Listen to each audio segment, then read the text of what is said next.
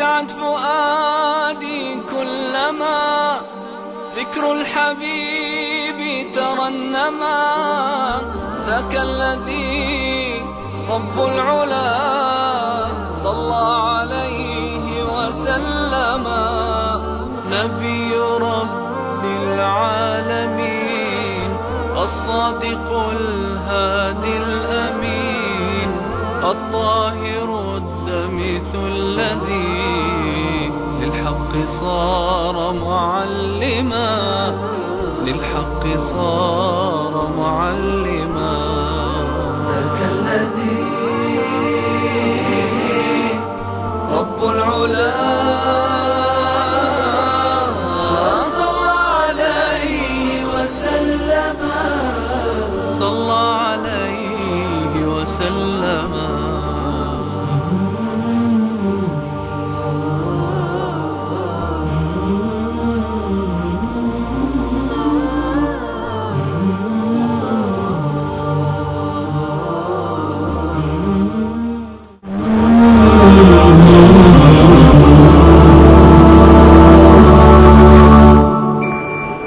لما أمن النبي صلى الله عليه وآله وسلم قريشا ومكرها بصلح الحديبية ما الذي بقي الآن؟ بقي رأس الأفعى. ومن رأس الأفعى؟ إنهم يهود خيبر. هم الذين ألبوا الأحزاب في الخندق على رسول الله صلى الله عليه وآله وسلم. وهم الذين اتفقوا مع غطفان تحالفوا معها ضد رسول الله صلى الله عليه وآله وسلم. وهم الذين أرسلوا من يغتال رسول الله صلى الله عليه وآله وسلم واتصلوا مع المنافقين. يهود خيبر هم الذين حرضوا بني قريضة في أصعب ساعة حرجة في حياة المسلمين ألبوها وحرضوها على نقض عهدها مع رسول الله. فهم رأس الأفعى الذين يدسون المؤامرات والمكائد ضد الإسلام والمسلمين. فأمر النبي الصحابة أنه سائر إلى خيبر. أنه مغادر إلى خيبر لفتحها بإذن الله عز وجل. وخيبر ذات مزارع وغنائم كثيرة وعدها الله للمؤمنين. وعدكم الله مغانم كثيرة تأخذونها. فوعدهم الرب عز وجل أنهم سيفتحون خيبر. وأن هذه المغانم وخيبر محصنة بحصون كثيرة وفيها مزارع كثيرة وثمار وخيرات وأموال وعدهم النبي إياها. وفعلا تجهزت المدينة في بداية السنة السابعة للهجرة لفتح خيبر وتجهز الجيش الإسلامي. فتقاطر الأعراب حول المدينة كلهم يريد القتال مع رسول الله ولم يكونوا أهل قتال ولا أهل جهاد. فنهاهم النبي. قال لن يخرج معي لخيبر إلا من جرب في القتال إلا أهل الجهاد في سبيل الله. إلا أهل العزائم. فخرج معه كل الذين بايعوه تحت الشجرة بايعوه على الموت في سبيل الله. أما الذين أرادوا الأموال والغنائم وأرادوا الدنيا فإنهم ممنوعون. حاول الأعراب والمخلفون أن يذهبوا مع المسلمين لكن المسلمين منعوهم. سيقول المخلفون إذا انطلقتم إلى مغانم. إذا انطلقتم إلى مغانم لتأخذوها ذرونا نتبعكم. يريدون أن يبدلوا كلام الله. قل لن تتبعونا. كذلكم قال الله من قبل. فسيقولون بل تحسدوننا. بل كانوا لا يفقهون. بل كانوا لا يفقهون إلا قليلا. يظنون أن الجهاد في سبيل الله أموال وخيرات وزروع وما دروا أن الجهاد ليس لأجل هذه الدنيا. فمنعوا فلم يخرج مع النبي إلا من بايع تحت الشجرة. وهكذا سار الجيش الإسلامي إلى خيبر. أما رأس النفاق في المدينة فقد أرسل إلى يهود خيبر. قال إن جيش محمد قد أتى إليكم. خذوا حذركم فتزلزلت الأرض من تحت أقدامهم وقذف الرعب في قلوبهم وإذا الخوف يملأ صدورهم. إنه جيش رسول الله سائر إلى خيبر إلى رأس الأفعى إلى يهود خيبر. يدك الأرض دكا فأرسلوا إلى غطفان أن قوموا معنا نحن حلفاؤكم. فوافقت غطفان بشرط أن لهم نصف ثمار خيبر. وفعلا وافق يهود خيبر. واستعدت غطفان للذهاب والقتال مع خيبر وخرج النبي صلى الله عليه وآله وسلم مع الثلة المؤمنة للقتال وفتح خيبر.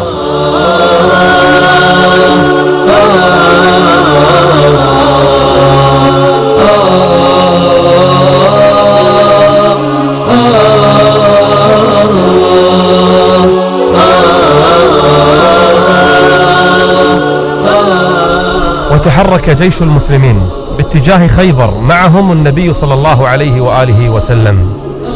يقودهم إلى خيبر لقتال يهود. سمعت بهذا الأمر من؟ غطفان. فخرجت تناصر اليهود في خيبر. خرجت بجيوشها تقاتل مع اليهود ضد النبي وأصحابه. لكنهم لما خرجوا سمعوا صوتا ولغطا وحسا في أهليهم وذراريهم وقراهم فظنوا أن النبي وأصحابه غاروا على أهليهم فتراجعوا وانسحبوا وتركوا يهود لوحدهم يواجهون مصيرهم. تقدم النبي مع أصحابه في الجيش معه أدلاء. أحد الأدلاء في الطريق سأله النبي صلى الله عليه وآله وسلم قبل أن يفترق الطريق. قال ما اسم هذا الطريق؟ قال حزن فلم يسلكه النبي. ثم تقدم فقال ما اسم هذا الطريق؟ قال حاطب فلم يسلكه النبي. فتقدم فسأله عن طريق فقال هذا اسمه مرحب. فسلكه النبي باتجاه خيبر. وهم في الطريق يقول أحد الصحابة شعرا ويرتجز شعرا بصوت جميل والصحابة يسمعون بل حتى النبي صلى الله عليه وآله وسلم يسمع معهم يقول اللهم لولا الله ما اهتدينا ولا تصدقنا ولا صلينا فأنزلا سكينة علينا وثبت الأقدام إن لاقينا وأخذ يقول الشعر والنبي يسمع له. ثم لما انتهى قال من, قال من هذا؟ قالوا عامر بن الأكوع أحد الصحابة. فقال النبي صلى الله عليه وآله وسلم قال يرحمه الله. وكان النبي إذا قال يرحمه الله لرجل في معركة قتل واستشهد. فقال أحد الصحابة لولا متعتنا به يا رسول الله وفعلا استشهد عامر بن الأكوع. في معركة خيبر. تقدم الجيش حتى وصل إلى أشراف خيبر وحصون خيبر. رأى النبي خيبر من بعيد تطل عليه. فلما رأى خيبر رفع يديه إلى السماء وقال اللهم رب السماوات السبع وما أضلل ورب الأراضين السبع وما أقلل ورب الشياطين وما أضلل ورب الرياح وما درين أسألك خير هذه القرية وخير أهلها وخير ما فيها وأعوذ بك من شر هذه القرية وشر أهلها وشر ما فيها. يتقدم الجيش باتجاه خيبر معهم رسول الله صلى الله عليه وآله وسلم. حتى أمس المساء فعسكر النبي صلى الله عليه وآله وسلم بالقرب من خيبر. وفي الليل قال للصحابة لأعطين الراية غدا رجلا يحبه الله ورسوله ويحب الله ورسوله ليفتحن الله على يديه فظل الصحابة ليلة فتح خيبر. كل الليل يفكرون من هذا الرجل؟ كل منهم يتمنى أن يكون هو ذلك الرجل الذي يعطى الراية كل الصحابة. فلما أصبح الصباح في صبيحة ذلك اليوم سأل النبي الصحابة المقاتلين المجاهدين الأبطال والفرسان قال لهم أين علي بن أبي طالب؟ ابن عمه وصاحبه قال أين علي بن أبي طالب؟ قالوا يا رسول الله يشتكي عينيه في مرض بعينه فيه الرمد. قال أتوني به. فلما جيء بعلي بن أبي طالب دعا النبي عليه الصلاة والسلام له ونفث في عينيه فبرئتا كأن لم يكن به شيء فأعطاه الراية. الراية لمن؟ الراية لأبي الحسن لعلي بن أبي طالب. هو البطل هو لها في ذلك اليوم هو الرجل الذي يحب الله ورسوله ويحبه الله ورسوله. علي بن أبي طالب أخذ الراية فقال لرسول الله ماذا أصنع يا رسول الله؟ ماذا أفعل؟ قال انفذ على رسلك ولا تلتفت. وأتي القوم وأول ما تدعوهم إليه هو الإسلام. فإن أجابوك فوالله لئن يهدي الله بك رجلا لو واحد بس يسلم. خير لك من حمر النعم. لا تفكر بالغنائم لا تفكر بالنعم لا تفكر بالإبل لا تفكر بالثمار. فكر في دعوتهم للإسلام أولا. فوالله لا يهدي الله بك رجلا بس واحد لو نطلع من من يهود. خيبر. لو يسلم على يدينا رجل واحد خير لنا من الغنائم كلها. هذه وصية النبي لعلي بن أبي طالب رضي الله عنه. الرجل الذي يستحق أن يأخذ الراية. اقترب النبي من خيبر فرآه بعض يهود للتو خرجوا في الصباح الباكر من حصونهم يذهبون إلى مزارعهم إلى أشجارهم. معهم المساحي والمكاتيل وغيرها يحملونها يريدون قطع الثمار والأشجار. فلما رأوا جيش محمد صرخوا. محمد والخميس! محمد والخميس! ركضوا إلى حصونهم وأغلقوا الأبواب يحذرون القوم. وعسكر النبي بالقرب من حصن نطاه فقال له الحباب بن المنذر وكان رجلا خبيرا بمواقع الحرب. قال يا رسول الله هذا المكان ليس بالمكان فإن يهود يدرون عنا ولا ندري عنهم يرموننا ولا نستطيع أن نرميهم يصلون إلينا ولا نصل إليهم وربما باغتونا. فلنغير موقعنا يا رسول الله. أشار على النبي فغير النبي مكانه بانتظار معركة تاريخية فاصلة بينه وبين يهود في خيبر.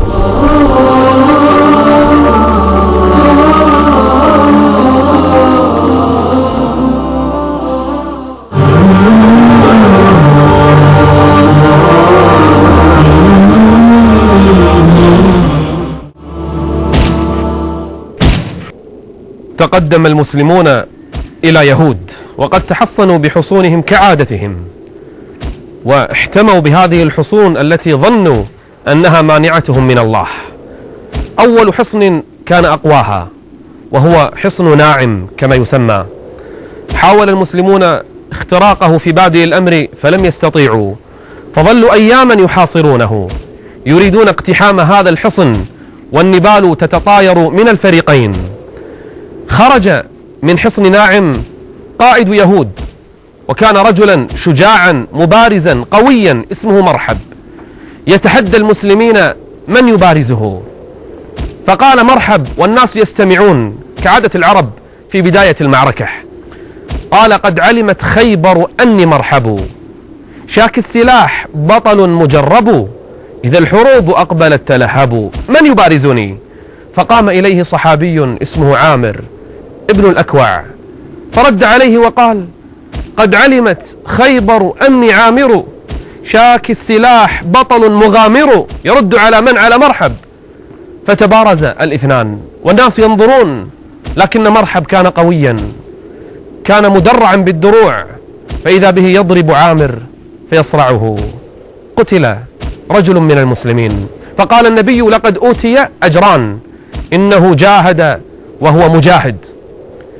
ثم قال مرحب مرة أخرى قد علمت خيبر أني مرحب شاك السلاح بطل مجرب. من يبارز؟ قام إليه البطل. من؟ إنه أبو الحسن. إنه علي بن أبي طالب. مع أن سنه أصغر بكثير من مرحب والسلاح الذي يحمله علي أقل من مرحب. لكنها قوة الإيمان. قال أنا الذي سمتني أمي حيدرح أنا اسمي أسد. هذا معنى حيدرح كليث غابات كريه المنظرة. أكيلهم بالسيل كيل السندرح قال من أنت؟ قال أنا علي بن أبي طالب. فقام إليه علي يبارزه. قال والله لا أحب قتلك. أنا لا أريد أن أقتلك. أنت صغيرا في السن. قال لكنني أحب قتلك والله. فإذا بالإثنان يتبارزان فما هي إلا ضربة من الإمام علي. تصرع الرجل فيكبر المسلمون. ويكبر رسول الله صلى الله عليه وآله وسلم. ويقتحم المسلمون أول حصن ويفر اليهود واليهود كالجرذان إلى الحصن الذي وراءه. حتى رآهم رجل من يهود سأل حامل الراية الإمام علي قال من أنت؟ قال أنا علي بن أبي طالب. فرد اليهودي وقال علوتم والذي أنزل على موسى علوتم والذي أنزل على موسى. فقام أخ لمرحب اسمه ياسر. فقام يتحدى من يبارزه فقام إليه الزبير. قال أنا أبارزك. فقالت أمه صفية يا رسول الله يقتل ابني. قال بل ابنك يقتله. وفعلا صرعه الزبير. انتقل المسلمون إلى الحصن الثاني وكانت حصون بعضها خلف بعض. احتمى اليهود بالحصن الآخر وكان اسمه حصن الصعب. احتموا به وطال الحصار أياما. جاع المسلمون حتى ذبحوا الحمر الإنسية الأهلية أرادوا أكلها فنهاهم النبي صلى الله عليه وآله وسلم ثم رفع يديه إلى السماء. يدعو الله جل وعلا أن يفتح هذا الحصن وبعد أيام قذف الله في قلوب اليهود الرعب وبإذن الله جل وعلا يدك الحصن الآخر حصن الصعب يدك دكا ويقتحمه المسلمون قائلين الله أكبر. الله أكبر ويفر يهود إلى الحصن الثالث. الحصن الثالث توجه المسلمون إليه. إنه حصن الزبير. تقدم المسلمون إلى حصن الزبير. الله أكبر فتحت خيبر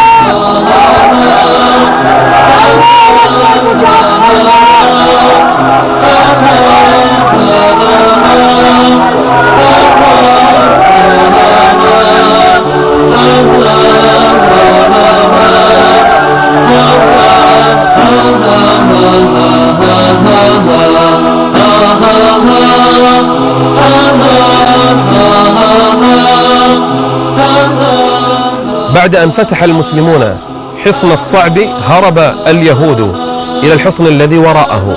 هكذا كانوا يفعلون من قلعة إلى أخرى من حصن إلى آخر من جدار إلى الذي بعده.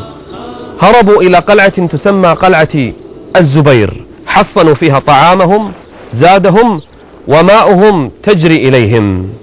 فظل النبي يحاصرهم أياما لم يخترق حصنهم وكان بينهم رمي بالنبال. فجاء يهودي إلى رسول الله. يهودي يقول هذا الكلام. قال يا محمد والله لو حاصرتهم شهرا ما خرجوا لأن عندهم طعامهم وماؤهم إليهم تجري فلو أنك قطعت عليهم ماءهم لم يستطيعوا الصمود. وفعلا قطع النبي عنهم الماء صلى الله عليه وآله وسلم وإذا بهم قبل أن يهلكوا من العطش أسرعوا إلى الحصن الذي وراءه من حصن إلى الذي يليه. أما الحصن الثاني أو القلعة الأخرى تسمى قلعة أبي قاتلوا فيها قتالا شرسا من قلعة وحصن إلى آخر. لا يقاتلون المسلمين مواجهة لا يستطيعون لا يقاتلونكم جميعا إلا في قرى محصنة إلا في قرى محصنة أو من وراء جدر. إلى اليوم لا يقاتلون إلا من وراء جدر. بأسهم بينهم شديد تحسبهم جميعا. وقلوبهم شتى. ذلك بأنهم قوم لا يعقلون. صار بين المسلمين في هذه القلعة وبين اليهود مبارزات لكن المسلمين قتلوهم جميعا. وكان آخر من قتل يهود من المبارزين أبو دجانة سماك بن خرشة رضي الله عنه وكان بطلا شجاعا فلما قاتل آخر المبارزين أسرع إلى الحصن وأسرع المسلمون فهرب يهود من هذه القلعة وهذا الحصن إلى الحصن الذي وراءه. يسمى حصن النزار وقد جمع يهود فيه نساءهم وذراريهم لأنه أقوى حصن في الشطر الأول من خيبر. فجمعوا كل النساء وكل الذراري في هذا الحصن وقاتلوا قتالا شرسا مريرا ورموا المسلمين بالنبال وبالحجارة لكنهم في نهاية الأمر فروا لما نصب النبي منجنيقا وبدأ يكسر حصونهم وعلموا أنهم مخترقون. ماذا فعل يهود؟ تركوا النساء وتركوا الذرية وهربوا إلى الشطر الآخر من خيبر كما قال الله فيهم تحسبهم جميعا وقلوبهم شتى ذلك بأنهم قوم لا يعقلون. هربوا وتركوا النساء والذراري إلى الشطر الآخر من خيبر.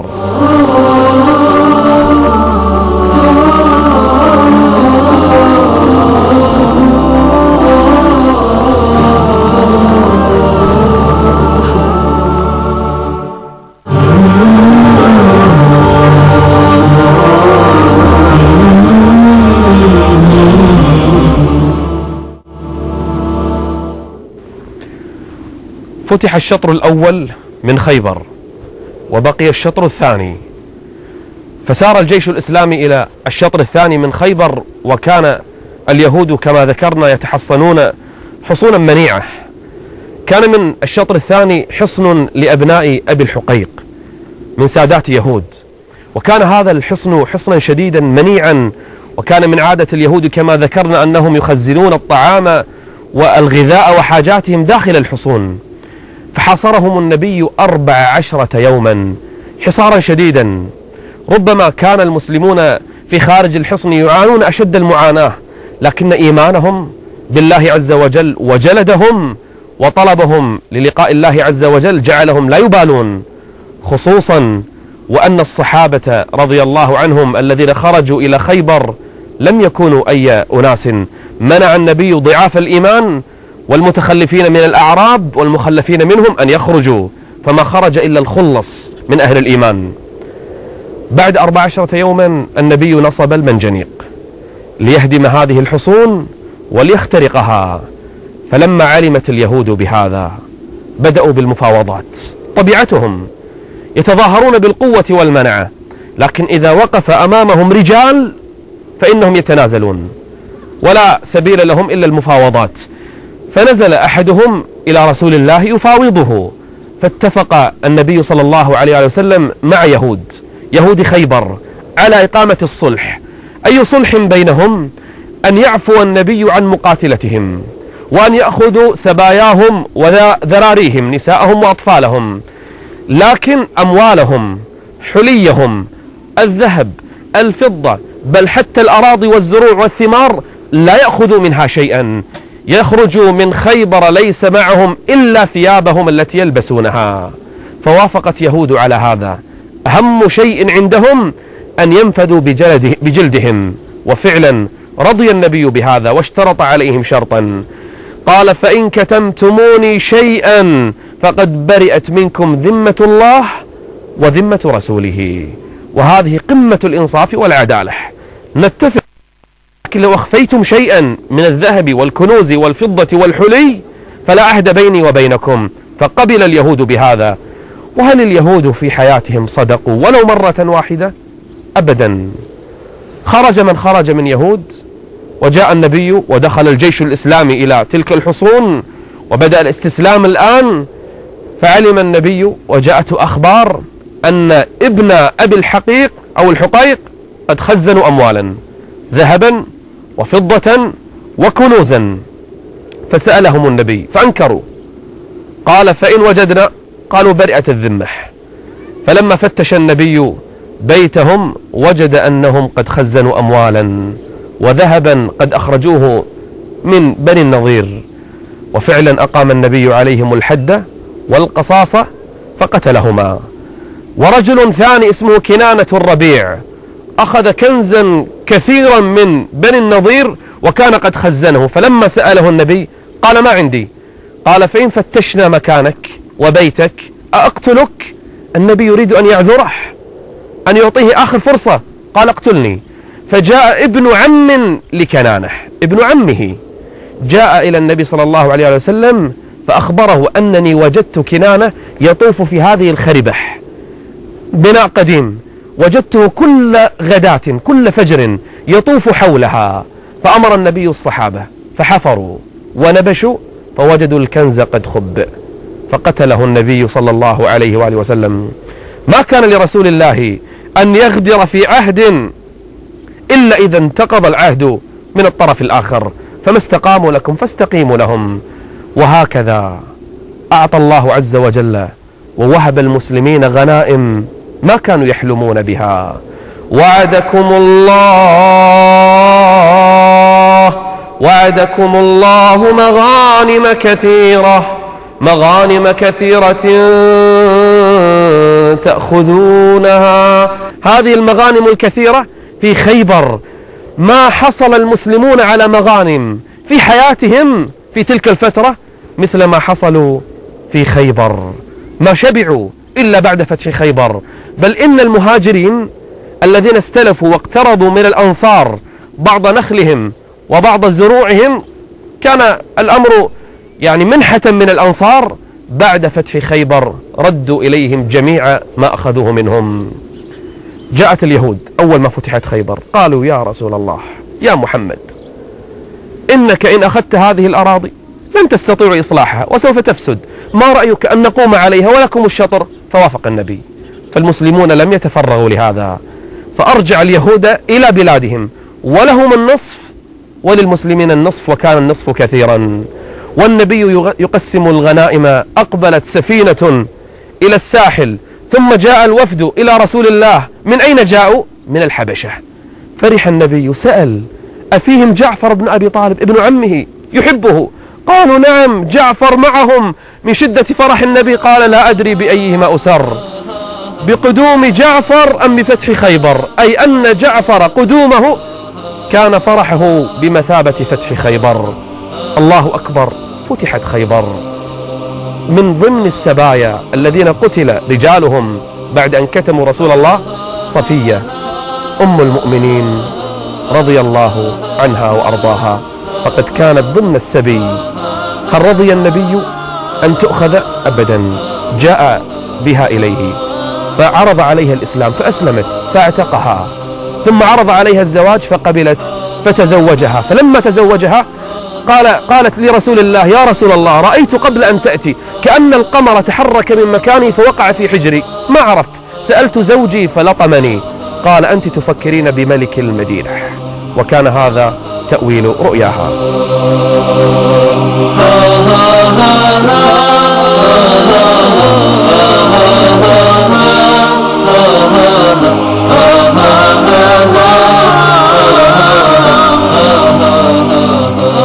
بعد أن أتم الله النعمة على الإسلام والمسلمين وفتحت خيبر وقسمت الغنائم وكان فتحا عظيما مبينا جاءت امرأة يهودية خبيثة كعادة يهود اسمها زينب بنت الحارث. تسأل عن رسول الله صلى الله عليه وآله وسلم فدلت عليه. فسألت أي أجزاء الشاة أحب إلى محمد؟ فقالوا لها الذراع. فذهبت إلى شاة فذبحتها ثم طبختها. طبخت هذه الشاة وسممت الشاة كلها وأكثرت من السم في الذراع. انظروا لخبث يهود. لتجدن أشد الناس عداوة للذين آمنوا اليهود. اليهود والذين أشركوا. فأهدت هذه الشاة المسمومة إلى رسول الله صلى الله عليه وسلم. فقبل النبي صلى الله عليه وآله وسلم منها هذه الهدية وأحسن الظن بها فجلس يأكل ومعه أصحابه. أكلوا جميعا وأكل النبي مرة. ثم أوحى الله إليه أن هذه الشاة مسمومة. فأوقف الصحابة جميعا عن الأكل ونادى المرأة فسألها فاعترفت. قال ما حملك على هذا الشيء؟ لما سممت هذه الشاة؟ لما أردت قتلنا؟ قالت إن كنت نبيا فستخبر وسيوحى إليك وستحفظ وإن كنت ملكا استرحنا منك. أي خبث أشد من هذا الخبث؟ وأي عداوة أشد من هذه العداوة؟ مع جميع الأنبياء والرسل هم هكذا. فإذا بالنبي صلى الله عليه وآله وسلم يطلق سراحها تركها لم يصنع لها شيئا. لكن لما مات أحد الصحابة الذين أكلوا من هذه الشاة وهو بشر ابن البراء ابن معرور أقام عليها الحد واقتص منها وقتلها بالبشر لأنه مات رضي الله عنه. هكذا أتم الله النعمة وهكذا فتحت خيبر وهكذا أغنى الله المؤمنين وقطع دابر الكافرين ونصر الله حبيبه وخليله محمدا صلى الله عليه وآله وسلم.